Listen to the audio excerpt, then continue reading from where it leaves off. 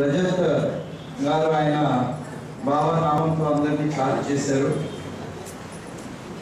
నా ముందే ఇక్కడ मेरे सामने ही एक हृदय का ये है तो ये कोई बनाए जो अच्छा इंटेंशन से बनाए रमादेवी रमा देवी हैदराबाद के क्योंकि यहाँ जो सहवास हो रहा है ఇప్పుడు ఇక్కడ సహవాస్ జరిగేది సహవాస్ ఏంటి?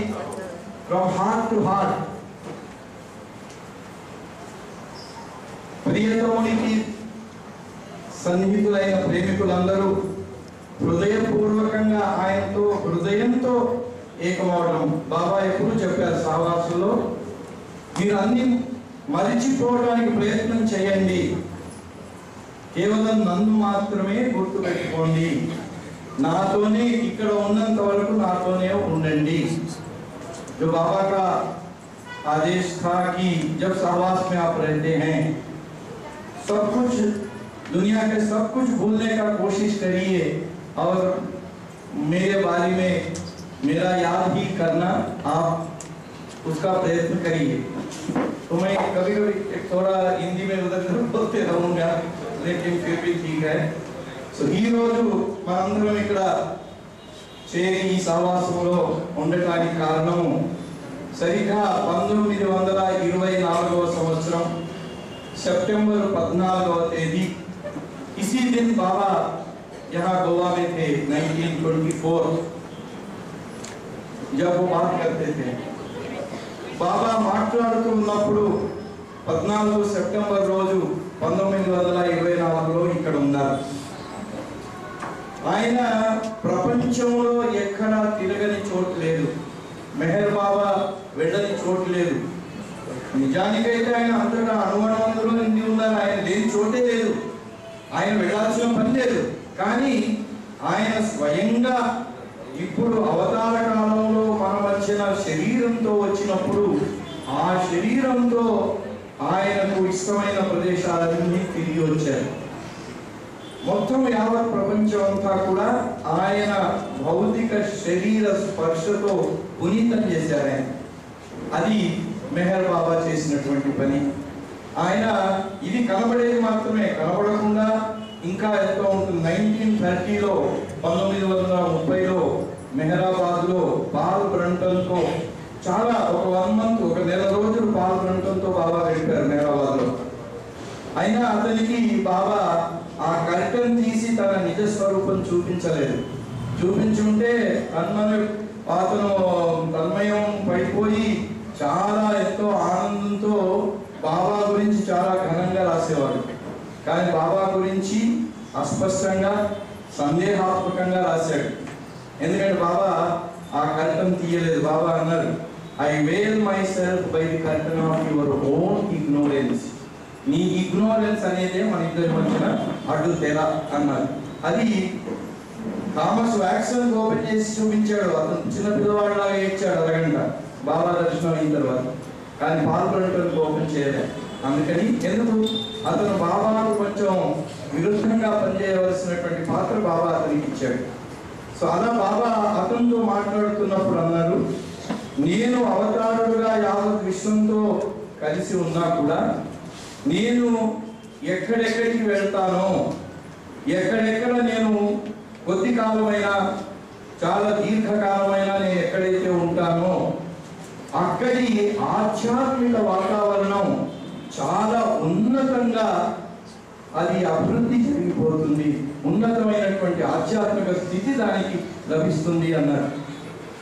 బాబా కై విశ్వభర్మే పూరే విశ్వభర్ एक बार पाल ब्रंटन से बाबा मेहराबाद में बोले कि जब मैं अवतार, ताकि पूरा विश्व से मैं जुड़कर रहता हूँ, मुझे कहीं जाने का ज़रूरत नहीं, लेकिन फिर भी मैं कभी किसी जगह में जाता हूँ, वहाँ अगर रहता हूँ तो उस जगह का आध्यात्मिक वातावरण बहुत ऊँचे स्थिति पर जाती है। ये बाबा का कहना था।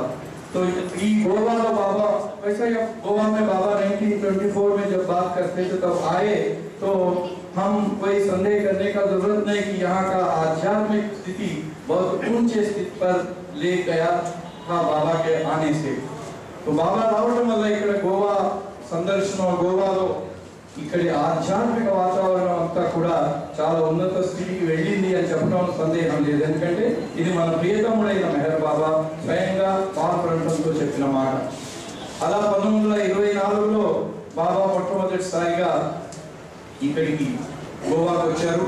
అప్పుడు ఆయన మాట్లాడుతున్నారు. అప్పుడు మాట్లాడుతూనే బాగా తిరిగారు. అప్పుడే ఒకసారి బాబా ఈరాన్ కూడా వెళ్ళారు.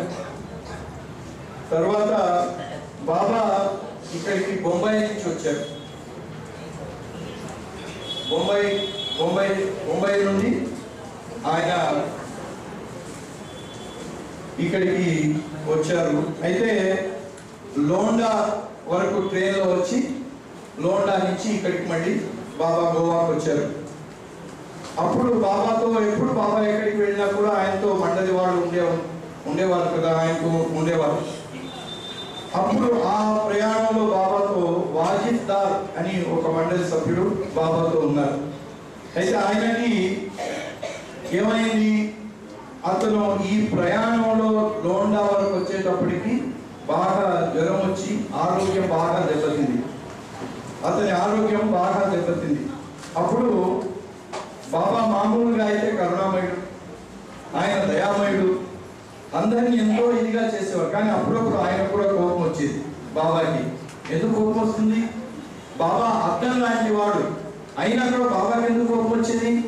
అర్థం ముందు ఎవరు నిలబడితే వారి రూపం నిలబడుతుంది బాబా ఆయనే के जैसे थे बाबा बहुत यानी यानी merciful most merciful बहुत रहम था उनका लेकिन फिर भी कभी कभी बाबा को इतना गुस्सा आ जाता था क्यों गुस्सा आता था बाबा को बाबा आईने के जैसे थे उनके सामने जो खड़े होते आईने में उनका आईने का खुद का कुछ वही स्वरूप नहीं रहता उसका कोई नहीं रहता जो सामने आगे खड़े होते उनका रूप उसमें वो रिफ्लेक्ट होता है तो जब बाबा गुस्सा आता है तो उनका खुद का कोई नहीं वो जो बाबा के साथ थे उनका रूप ही उनका वो रिफ्लेक्ट बाबा के ఆ, రూప్ के ద్వారా होता था బాబా యొక్క రూపం ద్వారా ఆ కోపం ప్రకటితం అవుతుంది ఆయనది కాదు అది కూడా అందరి మంచి కొరకే బాబా ఆగ్రహం కానీ అనుగ్రహం కానీ రెండు మన మంచిగా ఇక్కడ తెలుసుకోవాల్సింది ఏంటంటే మామూలుగా మన కోపం వస్తే ఏంటి ఎదుటి వాడిని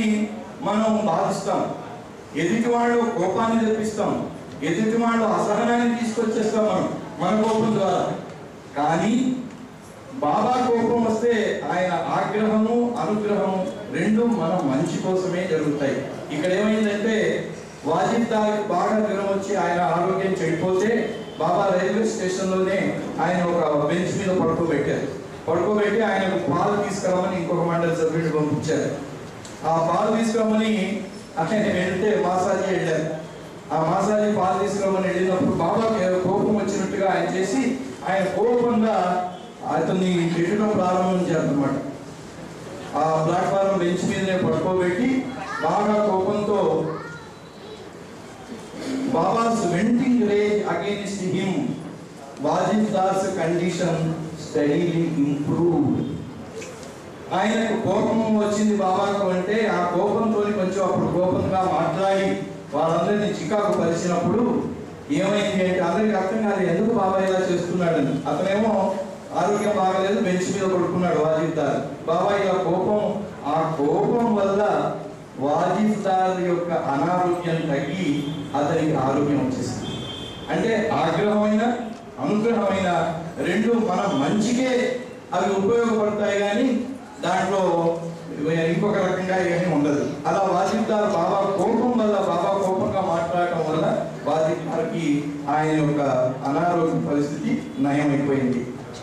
Steadily improve and after few hours అంటే కొన్ని గంటల తర్వాతనే ఈ బికేమ్ వెల్ ఆ వాజిబ్దార్ కొన్ని గంటల తర్వాత లేచి కూర్చున్నాడు. అంటే ఆయన కోపం కూడా అలా పనిచేస్తుంది. అనుగ్రహం ఆగ్రహం రెండు కూడా అలాగే పనిచేస్తూ ఉంటాయి. అవతారం. అక్కడి నుంచి పాంజీ ఇక్కడికి వచ్చారు. ఇక్కడ రిపబ్లికా హోటల్ అనే దాంట్లో బాబా బస చేశారు. మనం పదహారో తారీఖు పొద్దున వెంగళూరులో వెళ్ళేటప్పుడు ఆ రిపబ్లికా హోటల్ అనేది చూపిస్తారు మీకు. బాబా ఏ హోటల్లో ఉన్నారు. హోటల్ అయిన రిపబ్లిక్ ఆఫ్ హోటల్ కా?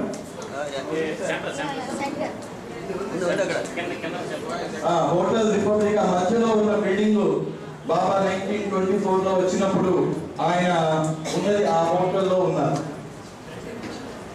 అది అప్పుడు ఒక క్రిస్టియన్ ఆయనకి సంబంధించింది. అక్కడ బాబా ఉన్నారు. బాబా ఎప్పుడు వచ్చినా కూడా ఎప్పుడు వచ్చినా కూడా ఎక్కడికి వెళ్ళినా కూడా బాబా విస్తృతంగా పర్యటించేవారు. అన్ని ప్లేస్లకు వెళ్ళేవారు. ఆయన ఏది వదిలేదు. టూరిస్ట్ ప్లేస్ కానీ ప్లేసెస్ ఆఫ్ వర్షిప్ కానీ ఇక్కడ గోవాలో బాబా అన్ని చర్చిలకు వెళ్ళారు. ఆయన అన్ని చర్చలు సందర్శించారు. సరే అన్ని చేసి ఆఖరికి ఆయన దీంట్లో ముఖ్యమైనది ఒకటి ఉంది. అదేంటి అంటే బామ్ జీసస్ బాసిలికా అక్కడ సెయింట్ జేవియర్ యొక్క మమ్మీ కూడా ఇప్పటికీ ఉంది అనేది మనకు కాకపోతే అది ఎప్పుడు చూడటానికి ఉండదు. సంవత్సరానికి ఒకసారి ఎప్పుడో వాటి సందర్భానుసారంగా అది చూడటానికి బయటపెడతారు. సెయింట్ జావియర్ ఫ్రాన్సిస్ జేవియర్ ఆయన ఒక పదహారవ శతాబ్దానికి చెందినటువంటి సెయింట్ ఆయన ఫ్రాన్సిస్ సో ఇక్కడ బాబా నైన్టీన్ ట్వంటీ ఫోర్లో మూడు రోజులు ఉన్నారు. మూడు రోజులు ఉండి తర్వాత మళ్ళీ ఇక్కడి నుంచి బాంబేకు వెళ్ళిపోయారు. ఆ తర్వాత మళ్ళీ రెండోసారి బాబా వచ్చారు. అది పంతొమ్మిది వందల నలభైవ సంవత్సరంలో. పంతొమ్మిది వందల నలభై సంవత్సరంలో Baba Blue Bus tours Blue Bus మనందరం చూసాం మెహరాజాద్లో పెట్టబడి ఉంది. మెహరాజాద్లో కింద ఫౌండేషన్ కట్టి దాని మీద పెట్టి ఉంచారు ఇప్పుడు. ఆ Blue Bus nineteen thirty eight డిసెంబర్లో ప్రారంభమైనాయి. మొట్టమొదటి విజిట్ బాబా హైదరాబాద్కి వచ్చారు. డిసెంబర్ నైన్టీన్ థర్టీ ఎయిట్లో అక్కడి నుంచి విస్తృతంగా దేశమంతా తిరిగారు. డెబ్బై ఐదు వేల కిలోమీటర్. నలభైలో ఆయన బెంగళూరులో ఉన్నారు. ముప్పై తొమ్మిది డిసెంబర్లో బెంగళూరు బైరామంగళ దానికి శంకుస్థాపన చేసి అక్కడ ఉన్న మస్తులతో కార్యక్రమం జరుగుతుంది. ఎందుకంటే బాబా కార్యక్రమం పంతొమ్మిది వందల నలభై తర్వాత చాలా విస్తృతంగా జరిగింది.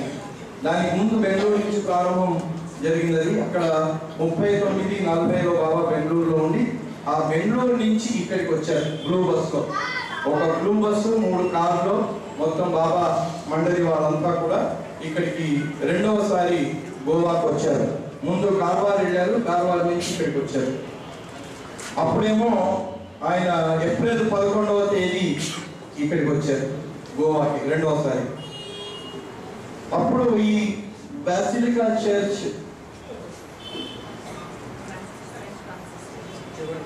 ఫ్రాన్సిస్ ఇది ఇక్కడ పైన రైట్ సైడ్ ఉంది చర్చ్ అది. అది బాసిలికా చర్చ్ అది. అక్కడి నుంచి రెండవసారి పంతొమ్మిది వందల నలభైలో వచ్చినప్పుడు అక్కడి నుంచి బాబా వెళుతూ ఉంటే బాబా కారు పాస్ అవుతూ ఉంటే బాబా ఏం చేశారంటే ఇక్కడ ఈ చర్చ్ ఇప్పుడు ఓపెన్ ఉందా కనుక్కోండి. అదంతా ఒక తమాషా డ్రామా అన్నమాట. ఇది ఓపెన్ ఉందా కనుక్కోండి అని బాబా నులీనాకు చెప్పారు. ఆ నులీనాకు చెప్తే ఆమె అప్పుడు అక్కడ ఎవరో ఒక షాప్ కీపర్ ఉన్నారు అరవై ఏళ్ళ మనిషి. ఆయన అడిగితే ఆయన అన్నాడు ఆయన అదో రకంగా మాట్లాడారు. అర్థం పర్థం లేని విధంగా మాట్లాడతారు. అట్లా మాట్లాడుతూ ఆయన ఏమన్నాడు నేను కరాచీ నుంచి వచ్చాను. నేను ఒక పెద్ద గొప్ప రైటర్ని నేను అన్ని రాస్తూ ఉంటాను. అయితే ప్రశాంతంగా రాయాలి గోవాలో ఉంది అని ఇప్పుడు గోవాకు వచ్చాను. ఇక్కడ నేను రాయాలి అని నాకు ఒక అభిలాష ఉంది అని చెప్పి అంటే అది ఎప్పుడు ఓపెనే ఉంటుంది అనే విషయం కూడా చెప్పాడు ఆయన. చెప్పి ఈ మాటలన్నీ చెప్పాడు అనమాట నేను రాసినవి ఎన్నో పుస్తకాలు ఉన్నాయి ఇంకా పుస్తకాలన్నీ ముద్రించబడలేదు అని కూడా అతను అతని మాటల్లో చెప్పారు.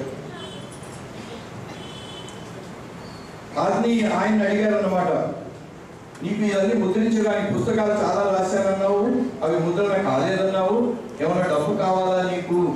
అని అడిగితే వాళ్ళని ఆయన అన్నాడు వద్దు అక్కర్లేదు అని బాబా వైపు మాత్రం చాలా సీరియస్గా చూశారు. ఒకరినొకరు బాగా సీరియస్గా చూసుకున్న తర్వాత అప్పుడు ఆయన వెళ్ళిపోయారు.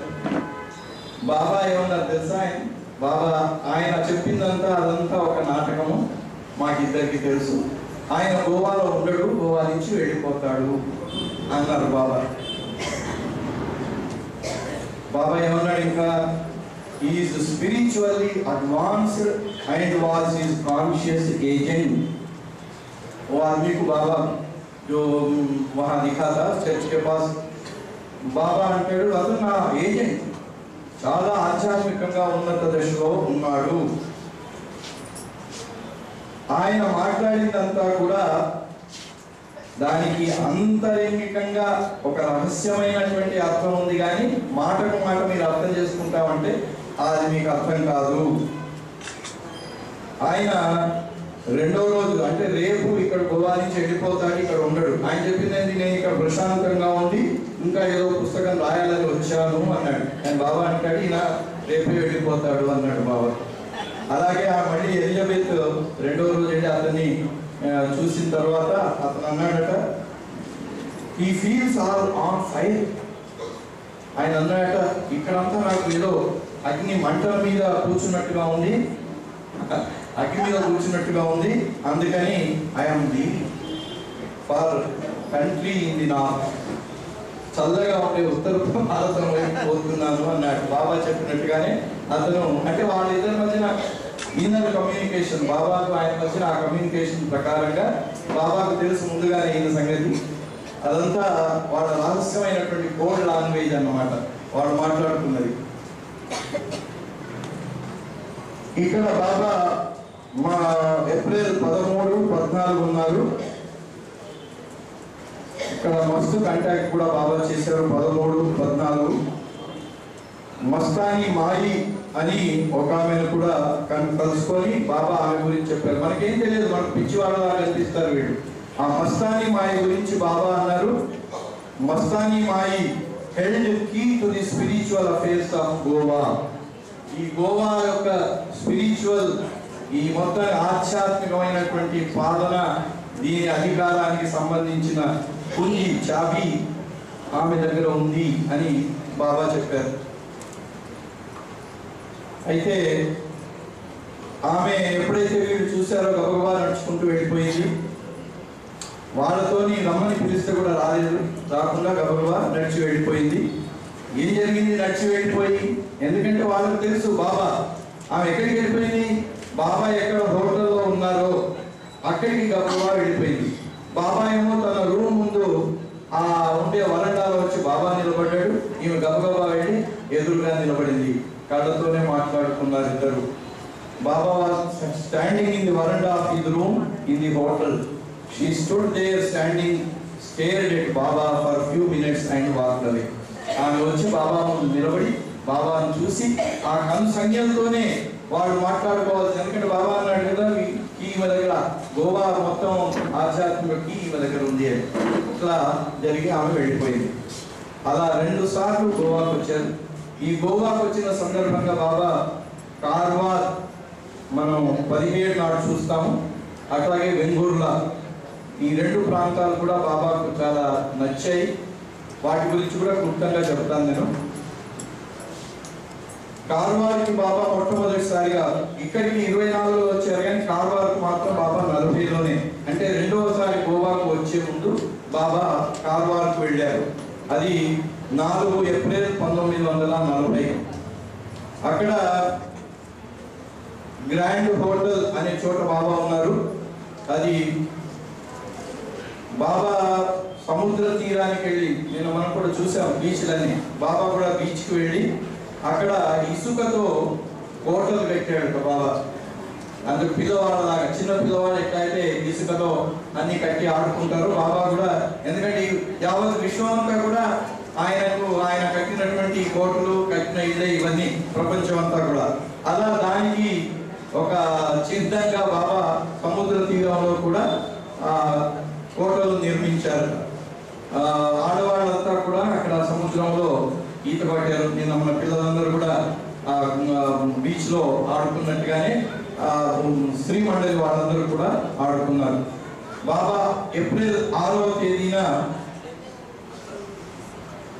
అందరినీ ఒక ఓడలో నావలో Christian church Nossa Senhora das ప్రోటాస్ అనే అక్కడికి ఇది కూడా పోర్చుగీస్ వాళ్ళ అధీనంలో ఉన్నటువంటి దీవి అక్కడికి బాబా తీసుకెళ్ళారు అది ఎనిమిది కిలోమీటర్లు ఉంటుంది కార్వార్కి మనకు అది చూడడం వీలవుతుందో కాదో కానీ దూరం నుంచి మాత్రం చూపిస్తారు. అది వీ- వీలు కాదు ఎందుకంటే మిలిటరీ వాళ్ళ అధీనంలో ఉంది అది కార్వార్ కోస్ట్లో అది ఉంటుంది. అక్కడ ఆ ప్రదేశం అంతా కూడా చాలా బాగుండి బాబాకు నచ్చితే బాబా ఏమన్నాడంటే అప్పుడు కార్వార్ దగ్గర ఈ ద్వీపాన్ని గురించి చెప్తూ బాబా అన్నారు of the three centres I want to build for my work in the world I have to build one here Karwar దగ్గర అది అంజీది అక్కడ బాబా అన్నారు నేను మూడు కేంద్రాలను ప్రపంచంలో నిర్మించాలని అనుకుంటున్నాను. దాంట్లో ఒకటి ఇక్కడ నిర్మించాలని ఉంది. Baba said he wanted to build three centres in the world and out of one Baba says near Karwar on that island Baba says I want to build one here so అలా కార్వార్లో బాబా మళ్ళీ రెండోసారి వచ్చారు పంతొమ్మిది వందల నలభై ఒకటిలో. అక్కడ పంచగన్ నుంచి బాబా వచ్చారు. అప్పుడు కూడా బ్లూ బస్సులు కార్లో వచ్చారు. వచ్చి బాబా సతారా బెల్గాం కొల్లాపూర్ అని తిరుగుతూ తిరుగుతూ twenty ninth October nineteen forty వన్లో రెండోసారి కాల్వార్కు బాబా వచ్చారు. అక్కడ బాబా సెక్యూరిటీలో కూడా ఉన్నారు ఆ ప్లేస్లో.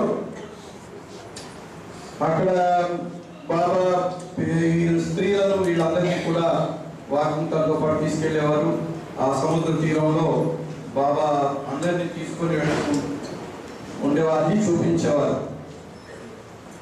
అలాగే బాబా వెంగూర్లా అనే చోటి కూడా మార్చ్ నైన్టీన్ ఫార్టీ సెవెన్లో వచ్చారు.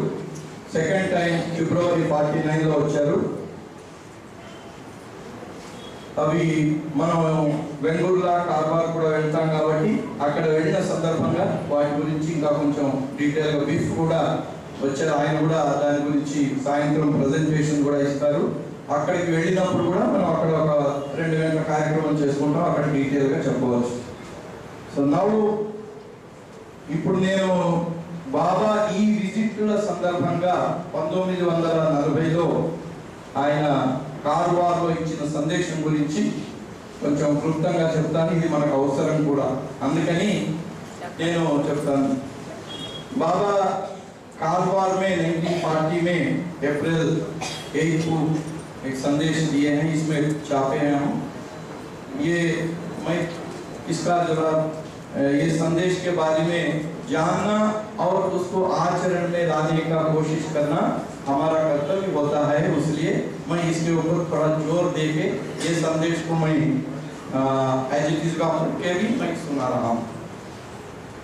బాబా ఏమంటున్నారంటే వాట్ ఈజ్ స్పిరిచువాలిటీ ఆధ్యాత్మికత అంటే ఏమిటి అని బాబా చెప్తున్నారు it is the undoing of what you have been doing since ages आप कहीं कहीं युगों से जो करते आ रहे हैं वो नहीं करना అది చేయకుండా ఉండటమే ఎన్నో జన్మల నుండి ఎన్నో యుగాల నుంచి నువ్వు ఏం చేస్తూ వస్తున్నావో అది చేయకుండా ఉండటమే ఆధ్యాత్మికత చూడండి ఆధ్యాత్మికత అంటే ఏమిటో తెలుసుకోండి బాబా అంటున్నాడు నువ్వు ఏదైతే అది చేయకుండా ఉండడమే ఆధ్యాత్మికత.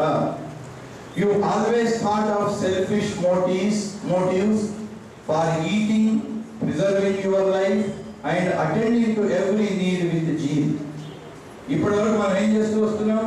మన కోసం తినటం హాయిగా సుఖంగా ఉండటం సుఖంగా ఉండాలని అనుకోవటం తర్వాత మన జీవితాన్ని ఎంతో సురక్షితంగా ఉంచుకోవాలి అనేటువంటి ప్రయత్నమే చాలా మన కష్టం ఉంది దానికోసమే. దేనికోసం తినడానికి పడుకోవడానికి మన జీవితాన్ని సురక్షితంగా ఉంచుకోవడానికి ఇదే మనం యుగాల తరబడి చేస్తూ వస్తుందని all these lifes you have made a habit of looking for yourself ఇంతవరకు మనం చేసుకున్న అలవాటు ఏమిటంటే నా కోసం నేను బతకడం నా కోసమే చూసుకోవడం if the slightest thing goes against your habit you are upset. తోడాలి అంటే కొంచెం కూడా మనం అనుకున్నది మనకు విరుద్ధంగా పోతే మనం అప్సెట్ అయిపోతాం చికాకు పడిపోతాం now to undo all all these bindings selfish bindings you have to do what you have not been doing or not to do what you have been doing ఇది ఈ అప్సెట్ కాకుండా ఉండాలి అంటే దీనికి నేను ఉదాహరణగా ఇక్కడిదే చెప్తాను కొంచెం. ఇక్కడ వచ్చాం మనం ఏదో ప్రసాద్ గారు ఇక్కడ అరేంజ్ చేశారు. హోటల్ బుక్ చేశారు ఇవన్నీ చేశారు. అందరికీ సరిగ్గా ఒకటి మంచం దొరికింది ఒకటి కింద పరుపు. పరుపు లేకుండా కూడా కింద పడేది కొంతమందికి వచ్చింది. కొంతమందికి వచ్చింది. సరే దానివల్ల మనకు వెంటనే చికాకు వచ్చేసింది కోపం వచ్చేసింది. అరవటం చేయటం అన్నీ కూడా జరుగుతూ ఉంటాయి. ఎందుకంటే స్వభావం ఇన్నేళ్ళ నుంచి ఇది జన్మల నుంచి మనకు అలవాటైన స్వభావం కాబట్టి మనం దాని నుంచి తప్పించుకోలేము. అది జరుగుతూనే ఉంటుంది. అలా జరిగితే బాబా అంటున్నాడు నువ్వు దాన్ని మార్చుకోవాలి. ఆధ్యాత్మికత అంటే ఇక్కడ వచ్చి భజన పాడటం స్పీచ్ నాలాగా ఇక్కడ వచ్చి స్పీచ్లో గడగడ స్పీచ్ ఇవ్వటం ఇది కాదు. నిజంగా ఏమిటి మనం ఆధ్యాత్మికత అంటే నేర్చుకోవాల్సింది ఏమిటి అంటే అలాంటి సందర్భం వచ్చి మనకు ఏదో ఒక రకమైనటువంటి మనం అనుకున్నది జరగక అసౌకర్యం కలిగినప్పుడే మనం మన యొక్క ఆ సమతుల్య స్థితి కోల్పోకుండా ఉండటమే ఆధ్యాత్మికత. అది అలవాటు చేసుకోవాలంటున్నారు బాబా. అంటే ఇంతవరకు ఏం చేసుకోవాలి చేయకుండానైనా ఉండాలి లేదా ఇంతవరకు చేసేదైనా మానుకోవాలి. ఇది అంటే మనకు మామూలుగా ఏమవుతుందంటే ఆధ్యాత్మికంగా ఒకటి చేయాలని డూస్ అండ్ డోంట్స్ అని ఉంటాయి జనరల్ అన్నింటిలో అన్ని సంవత్సరాలు. బాబా పెట్టలేదు. కానీ బాబా ఏం చేయాలో ఎలా జీవించాలో జీవ ప్రేమికుడు ఆయన ఎలా జీవించాలని ఆయన విష్ చెప్పాడు బాబా. కానీ ఏమవుతుందంటే ఇక్కడ చేసి నేను ఇది చేశాను అని చాలా ఘనంగా చాలా ఇంట్లో ఉండేవాడు ఒకడైతే. చెయ్యకుండా బాబా ఇది చేయొద్దన్నాడు నేను చేయలేదని కదా చాలా దాని వల్ల కూడా క్రెడిట్ తీసుకున్నాడు ఒకడు ఉంటారు చేసి కూడా లేదా చేయకుండా కూడా సంస్కారాలు వచ్చే పరిస్థితి ఉంటుంది. దీనికి ఈడ్చి ఒక కథ చెప్పేవాడు బౌద్ధ ఆశ్రమం ఒకటి ఉండేది. దాంట్లో చాలా మంది బౌద్ధ భిక్షువులు ఉన్నారు. వాళ్ళకి ఏంటి అంటే సాయంత్రం చీకటి పడే లోపల ఎక్కడికి వెళ్ళినా మళ్ళీ ఆ ఆశ్రమానికి రావాలి. వాళ్ళు డబ్బు తాకకూడదు. స్త్రీలను కూడా తాకకూడదు. ఇది వాళ్ళ నియమం. ఒక రోజు ఒక ఇద్దరు స్నేహితులు బౌద్ధ భిక్షువులు బయటికి వెళ్ళారు. వాకింగ్ వెళ్ళి రిటర్న్ వస్తున్నారు. మనకి ఇక్కడ ఇవాళ పడినట్టుగా అప్పుడు వర్షం పడింది. వర్షం పడి దానిలో పెద్ద మడుగు నీటి మడుగు ఏర్పడింది. వీళ్ళకైతే చాలా కాళ్ళకు చెప్పులేవు కాబట్టి హాయిగా నడిచి వచ్చేస్తున్నారు. దాంట్లో నడిచే ముందు అది దాటి వచ్చేసరికి అక్కడ ఒక అందమైన స్త్రీ పాపం కాళ్ళకు సాక్సులు ముట్లు వేసుకుంది మంచి డ్రెస్ వేసుకుంది అక్కడ నిలబడి ఉంది. ఆమెకు ఆ నీళ్ళు ఎలా దాటాలి? చాలా కష్టమైపోయింది. సాక్సులు తడిచిపోతాయి అవి తడిచిపోతాయి మరి పోయి తీసుకొని మళ్ళీ వేసుకున్నామంటే అది ఇబ్బంది. ఏం చేయాలని ఆలోచిస్తుంది. ఎక్కడైనా ఈ బూట్లు ఇవ్వకుండా వెళ్ళే దారి ఉందా? అని లేదు కనబడలేదు. ఈలోగా అది గమనించాడు దానికి ఒక బౌద్ధ భిక్షువు. ఆయన ఏం చేశాడంటే గబగబా వెళ్ళి ఆమె అమాంతంగా లేపి రెండు చేతులతో లేపి తీసుకెళ్ళి బయట నిలబెట్టాడు. ఆమె ఏం జరుగుతుంది? ఆశ్చర్యపడిపోయింది. కాకపోతే మడుగు పెట్టిపోయింది హాయిగా థ్యాంక్ యూ అని చెప్పుకొని వెళ్ళిపోయింది. ఇంకో బౌద్ధ భిక్షు ఆహా అనుకుంటే అక్కడ నిలబడ్డాడు ఇద్దరు కలిసి మళ్ళీ వెళ్ళారు. ఆశ్రమం లోపలికి వెళ్తుంటే రెండో బౌద్ధ భిక్షు ఇతన్ని ఆపాడు. ఆపి ఏమైనా మనం లోపలికి వెళ్ళొచ్చా? అన్నాడు. ఈయన అన్నాడు ఎందుకు? ఏమైంది? అన్నాడు. ఏమైంది అంటావు? మనకు నియమం ఉంది. ఆడవాళ్ళను మనం తాకకూడదు ముట్టుకోకూడదు. నువ్వు ఆమె అమాంతంగా లేపేసి తీసుకెళ్ళి బయట దింపేశాడు అంటే ఈ బౌద్ధ భిక్షు అన్నాడు నవ్వుతూ అరే నేనైతే ఆమెను అక్కడే వదిలేశాను కదా నువ్వు ఇక్కడ దాకా వచ్చావా అన్నాడు ఆ బౌద్ధ భిక్షు ఎవరైతే ఆ ఆడవాళ్ళను అమాంతంగా రేపు బయట దింపాడో ఆయన దింపాడు మర్చిపోయాడు. కానీ ఎవరైతే ముట్టుకోలేదో ఎవరైతే ముట్టుకోకుండా ఉండే వాడు ఆ కట్టడానికి వచ్చిన తర్వాత అసలు నువ్వు ముట్టుకున్నావు కదా అన్నాడు. ముట్టుకొని నేను ఎప్పుడు వదిలేసాను ఆమెను నువ్వు ఇంకా పట్టుకొచ్చావా అన్నాడు. అంటే ప్రపంచంలో కొంతమంది చేసి సంస్కారాలు తెచ్చుకుంటే కొంతమంది చెయ్యకుండానే ఇలా సంస్కారాలు తెచ్చుకుంటారు దానివల్ల గ్రేట్ హిందీ में बोल सिस्टर हिंदी में रिपीट करो बोल रहे मैं बोल रहा हूँ बाबा अरे हमेशा हम दुनिया में जो काम करते हैं उससे हमारे ईगो के तरफ से हमारे स्वभाव के तरफ से अपने को संस्कार लगते हैं संस्कार रस हमारे को आ जाते हैं तो एक इर्च हमें हमेशा मैं उनसे सुना था ये कहानी ये ऐसा था एक बौद्ध का आश्रम था। उसमें कई बौद्ध भिक्षु थे। और वो उनके लिए कई नियम थे। बाबा तो ऐसा नियम नहीं लगाए लेकिन अपना विश्व प्रकट किए, उनके प्रेमी कैसा होना चाहिए। तो वो नियम के अनुसार ये जो बौद्ध भिक्षु अब अगर कहीं बाहर गए तो बिफोर दस, यानी सूर्यास्तमय के पहले पहुँच जाना, वापस आ जाना। बाहर जब जाते हैं तो वो लोग स्त्री वुमन को टच नहीं करना स्त्रियों को टच नहीं करना, पैसा टच नहीं करना, और नंगा पैर जाना पड़ता था। एक दिन दो बौद्ध भिक्षु जो फ्रेंड्स थे, वो दोनों मित्र वो बाहर चले गए, थोड़ा घूम के आने लगे। उस दिन बारिश भी हुआ था तो रास्ते में पूरा पानी टिका हुआ था एक जगह में। वो दो आके, जैसा ही उसको वो पानी का जो था, टिका हुआ था, वहाँ से निकल रहे थे। वो अपोजिट डायरेक्शन में एक अच्छा ब्यूटीफुल सुंदर एक स्त्री आगे खड़े हो गई वो बूट और साथ पहनी हुई थी। उसमें से कैसा बाहर निकलना हो उसको कैसा पार करना, वो बहुत बड़ा प्रॉब्लम हो गया था उनके लिए। ऐसा ही खड़े हो गए थे, ये दोनों बौद्ध भिक्षु में एक देखा उनका तकलीफ़। ये चले जाके बिना पूछे उनको दोनों हाथों से उठाकर ले जाके ये पानी के जो ये टिका हुआ पानी का है तो उसके पान के उस तरफ़ के उनको छोड़ के आ गया। जो दूसरा देख रहा था, वो तो हाँ हाँ वो बहुत आश्चर्य में पड़ गया था, ये क्या है? स्त्रियों को टच करना भी मना है हमारे लिए। तो पूरा उठा दिया उनको और उधर बाहर ले जाके, वहाँ छोड़ लेके आ गया। तो जैसा ही वो चले गए आश्रम के गेट के अंदर जा रहे थे, जो दूसरा था, दिखने वाला, भिक्षु बोला है, हम अंदर जा सकते क्या? ये बोला, क्यों, क्या हुआ? अरे, हम स्त्रियों को टच करना ही मना है। तुम तो उनको उठा के उधर पार कराए थे।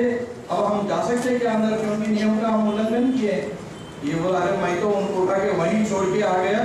तुम उनको यहाँ तक लेके आए क्या और उनको टच भी नहीं करे, लेकिन अपने साथ ला लिया।